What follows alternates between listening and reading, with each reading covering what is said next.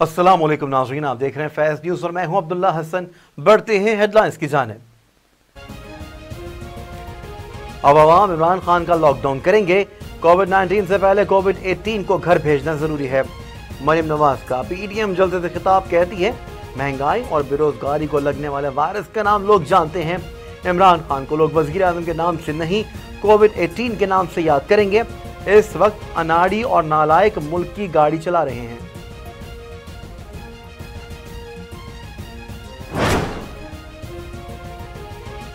आसिफा भुट्टो जरदारी की सियासत में एंट्री पीडीएम के मुल्तान जल्द से खिताब कहती हैं, अवाम ने फैसला दे दिया। सिलेक्टेड को अब जाना होगा। जुल्फिकार अली भुट्टो और बेनजीर भुट्टो ने जमहूरियत के लिए कुर्बानियाँ दी। बीबी शहीद का मिशन आगे लेकर चलेंगे।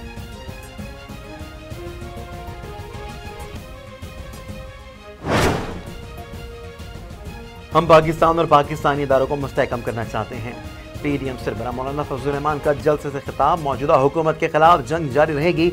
हमने डंडा दिखा दिया। अब इससे आगे मत जाएँ। हमें इश्तियाल मत दिलाएँ।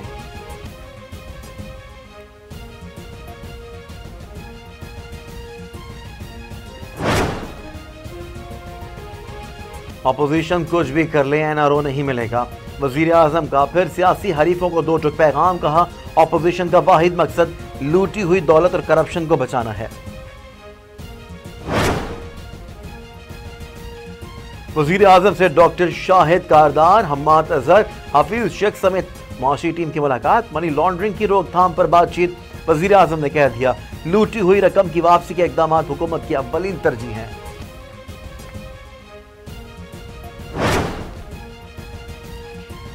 सिंध के अवाम बारह साल से मुसलत नाअहल टोले से निजात की दुहाइयाँ दे रहे हैं। विफाकी वजी इतला शिबली फराज की प्रेस कॉन्फ्रेंस कहा पीपल्स पार्टी वालों ने कैसे एक विफाकी जमात को इलाकई जमात में तब्दील कर दिया?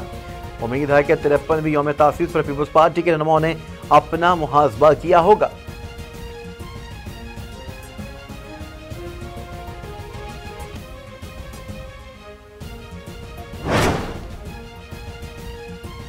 पनु आखिर में खौफनाक हादसे ने खानदान की खुशियाँ मातम में तब्दील कर दी। कौमी शाहरा पर ईंटों से भरा ट्रक वैन पर जा गिरा। शादी की तकरीब में शिरकत के लिए कराची आने वाले खानदान के ग्यारह अफराद जहाँ बहाक मरने वालों में चार खातन और सात बच्चे भी शामिल। शीर ख्वार बच्चा मुआजाती तौर पर बच गया।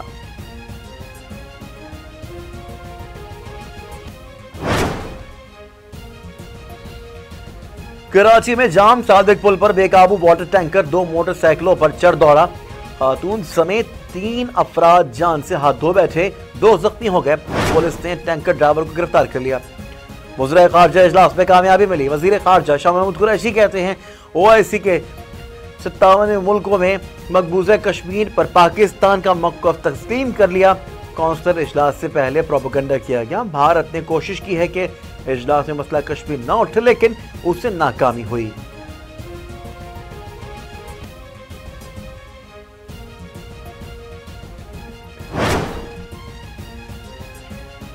अमेरिका के नौ मुंतब सदर जो Biden White House media staff का ऐलान कर दिया, जो सारा खातन पर मुश्तमिल है कि बैटिंग फ़ील्ड को सरबरा नामजद कर दिया गया।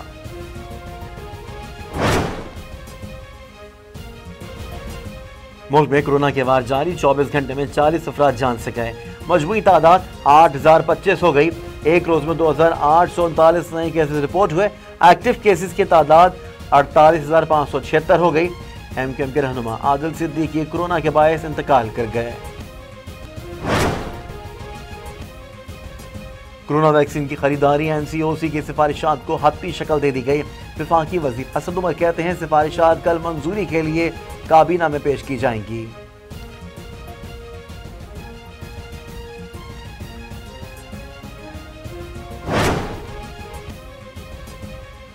आज़ाद कश्मीर और वादी नीलम में बर्फबारी के बाद राब्त सड़कें बंद। मकामी लोग खुद सड़कों की सफ़ाई में मसरूफ। वादी नीलम के बारह इलाके के लोगों को शदीद मुश्किल का सामना।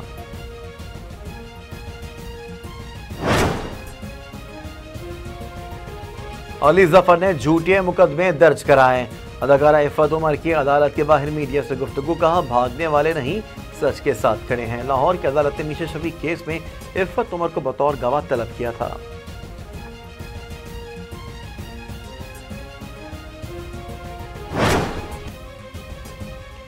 और Barcelona star footballer Lionel Messi का मैराडोना को मुनफरद अंदाज में खराज अकीदत लालिगा लीग में गोल करने के बाद हाथ आसमान की जानब करके मैराडोना को याद किया।